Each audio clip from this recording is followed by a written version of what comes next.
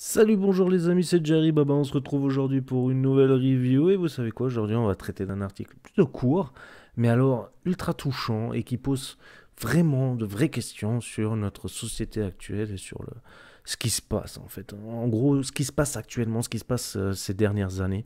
Et ouais, on se rend compte qu'il y a des gens qui, euh, qui le vivent très très différemment. Et voilà. Alors vous savez quoi, sans plus tarder, on commence. C'est parti.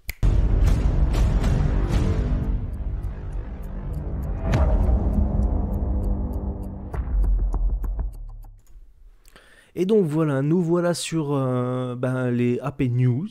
C'est un article qui date d'aujourd'hui. Aujourd'hui, on est le 27 août. Et euh, il est fait par Rod McGuirk. Alors, euh, voilà, c'est l'Australienne pleure sa tante bien-aimée avec des brebis d'amour en forme de cœur. Ah, qu'est-ce que c'est moignon. Mais en fait, c'est vrai. Non, c'est super, c'est super intéressant, super mignon ce qui se passe là. C'est vraiment très très touchant. Donc, euh, euh, Canberra, Australie, un agriculteur australien n'a pas pu se rendre aux funérailles de sa tante en raison des restrictions liées à la pandémie. Donc la pandémie Covid-19 bien sûr. Hein. Alors, il lui a rendu un hommage avec une nouvelle alternative, des dizaines de moutons disposés en forme de cœur d'amour. Alors là, je dis quand même, ouf, c'est un truc de dingue. Là, euh, bisous, câlin, beignet, chouchou, quoi, hein, les gars. C'est. C'est juste génial, en vérité. Mais c'est dramatique en même temps. Génial et dramatique. On continue.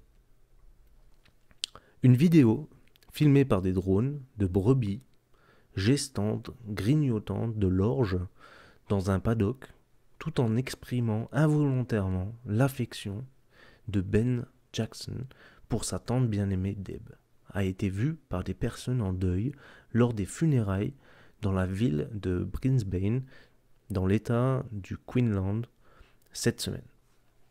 Jackson était enfermé à l'époque à travers une frontière de l'État dans sa ferme de Guirana, de, pardon, de Guira, euh, dans l'État de Nouvelle-Galles du Sud, à 430 km, dont c'est 270 miles de là.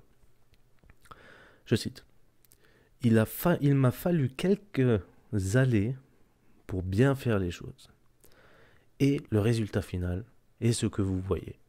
C'est aussi proche d'un cœur que je pouvais l'obtenir, a déclaré Jackson jeudi. Jackson a commencé à expérimenter avec la fabrication des formes avec des moutons pour soulager le stress monotone de l'alimentation à la main du bétail pendant une, sécheresse dévastatrice dans la majeure partie de l'Australie qui a éclaté dans les premiers mois de la pandémie. Donc le gars, il s'est quand même un petit peu euh, entraîné. Il n'a pas fait quand même à la... il a fait Rocky. Il s'est entraîné. Il s'est entraîné à faire des, des, formes. Et des cœurs. Ou un cœur. Ou pas. On continue. Il a découvert que s'il épelait les noms de ses groupes musicaux préférés avec du grain tombé de l'arrière de son camion, le troupeau adopterait à peu près la forme pendant plusieurs minutes. C'est génial comme concept. C'est absolument génial comme concept. Imagine le gars, il est là sur son tracteur là. Et puis hop, et eh, putain, tiens, c'est qu'est-ce que je vais faire? Je vais, je vais faire le logo de Metallica, tiens. Je vais faire le logo de Maître Gibbs. Ça peut être marrant quand ça super marrant. Cela m'a certainement remonté le moral pendant la sécheresse, a déclaré Jackson. Ce cœur que j'ai fait pour ma tante, il semble certainement qu'il ait eu un peu d'effet à travers l'Australie, a-t-il ajouté, faisant référence aux réponses émotionnelles sur les réseaux sociaux. Peut-être que nous avons tout juste besoin de nous donner un gros câlin virtuel. Alors cette phrase, elle a une, une résonance très particulière dans notre contexte actuel et je trouve que c'est juste magnifique. Et c'est vrai, se donner un gros câlin virtuel, c'est se réconforter ensemble, même si, euh, voilà, autour d'une tragédie, mais de se réconforter ensemble et de se faire un gros câlin. Câlin, bisou, chouchou, tout ce que vous voulez, ça vaut la peine.